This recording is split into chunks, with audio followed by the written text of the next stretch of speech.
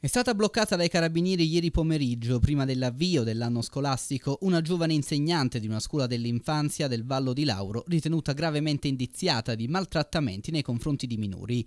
L'indagine trae origine dalle denunce sporte da alcune madri di bambini che frequentavano quella scuola che hanno raccontato di gravi episodi di presunti maltrattamenti subiti dai propri figli da parte dell'insegnante, tanto da incutere negli stessi la paura di recarsi a scuola. Dalle indagini dei carabinieri è emerso il comportamento minaccioso ed aggressivo dell'insegnante alla quale erano stati affidati i bambini. La donna, sulla quarantina, poneva in essere angherie, vessazioni fisiche e psicologiche percuotendo i bambini, denigrandoli e rimproverandoli severamente e in maniera sproporzionata.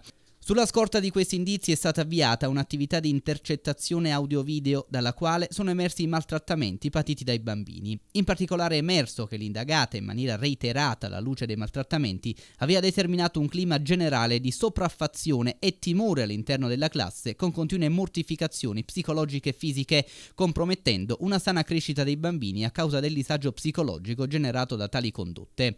Probabile che nell'ambito delle indagini, oltre ai video, siano stati ascoltati anche i colleghi colleghi. L'insegnante è stata quindi sottoposta alla misura interdittiva in parola con divieto di prestare la propria attività lavorativa presso quell'istituto scolastico, ovvero in qualsiasi altra istituzione scolastica di ogni ordine e grado per il periodo di 10 mesi.